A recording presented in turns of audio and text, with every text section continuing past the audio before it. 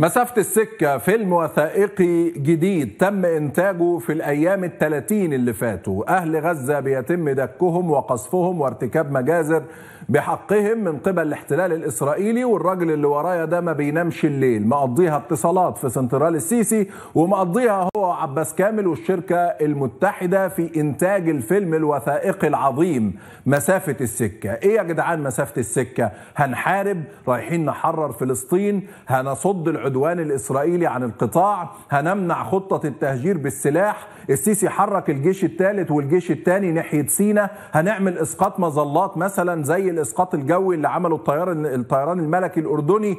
إيه حكاية مسافة السكة؟ قلقتونا طمنونا. لا مفيش قلق ولا حاجة. مسافة السكة ده حضرتك فيلم وثائقي مدته 17 دقيقة. أذيع على قناة CBC من ساعة ونص تقريبا. بيحكي عن إيه؟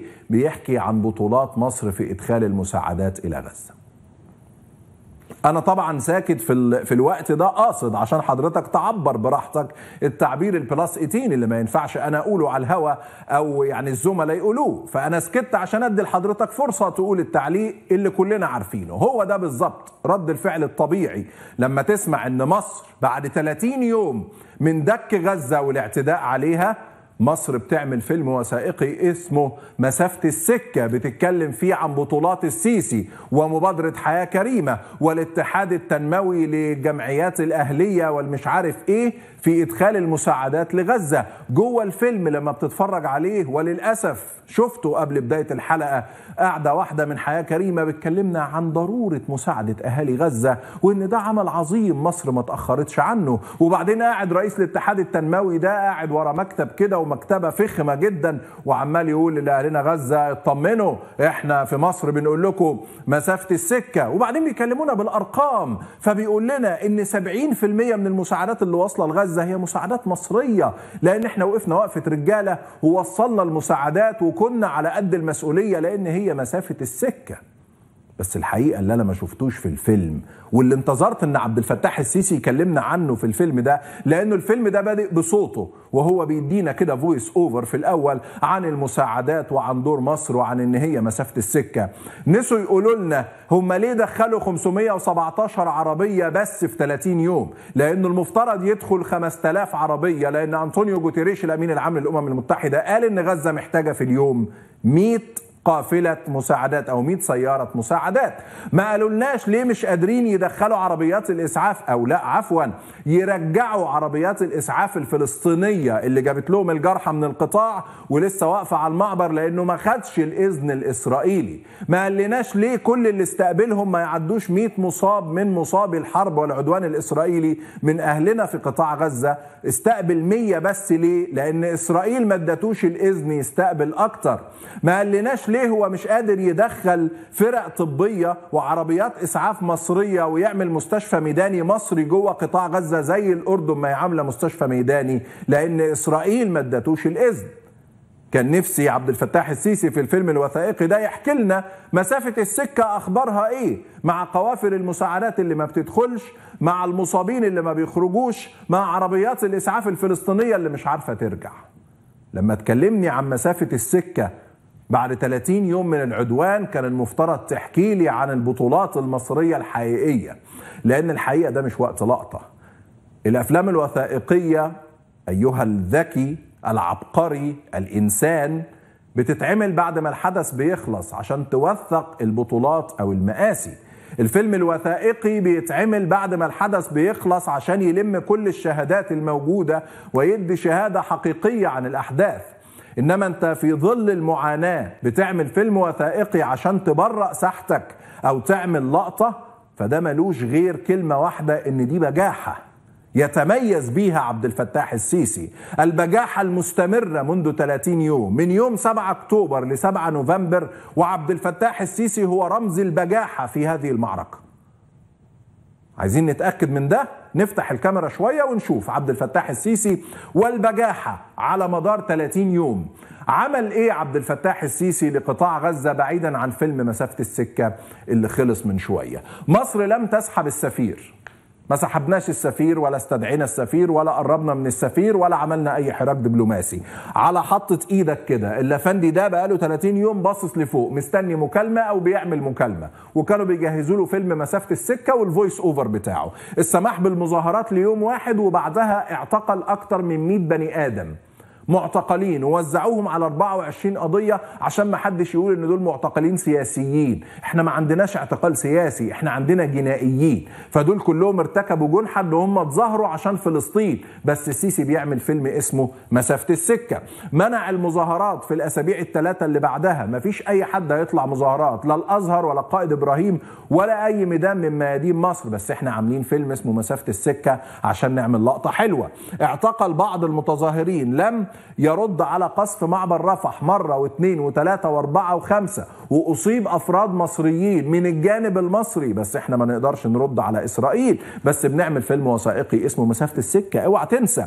ما ردش على تهديد إسرائيل بقصف المساعدات بل وقف عند التهديد الإسرائيلي بل الأكثر من كده. وزير خارجيته طلع قال إحنا ما خدناش الإذن يا جماعة من إسرائيل. إحنا بننتظر الإذن. موضوع الإذن ده قالوه على قوافل المساعدات قالوه على الجرحى قالوه على العربيات الفلسطينية بتاعة الإسعاف بس بنعمل فيلم اسمه مسافة السكة بنفتخر بيه بإدخالنا المساعدات لأهلنا في قطاع غزة. دخلنا أكفان يا جماعة لأنه الناس بتموت ما عندهاش أكفان.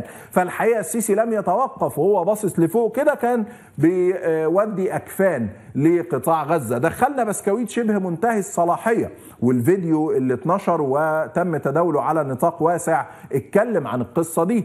كمان في خروج مئات من حاملي الجنسيات المزدوجة عشان السبوبة الحلوة مع ريشي سونك في بريطانيا مع المستشار شولز في ألمانيا مع الرئيس بايدن في أمريكا مع إيمانويل ماكرون في فرنسا مع جاستن ترودو في كندا.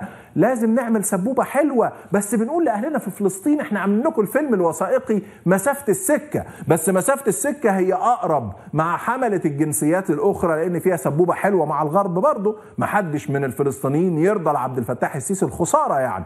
برضه يا جماعة الموضوع لازم يبقى وين وين سيتويشن الراجل تاجر شاطر يعني بيعرف يتاجر وبيعرف يكسب منين. طيب استمرار إغلاق معبر رفح قال لك المعبر مفتوح. الأسطورة اللي السيسي اشتغل فيها وأنا مش عايز أعيد كلام الأسبوع اللي فات بتاع نظام التمثيل إن هو بيمثل. بس الحقيقة الموضوع اختلف من إن هو بيمثل إنه بيدعم أهلنا في فلسطين لإنه بيمثل إسرائيل.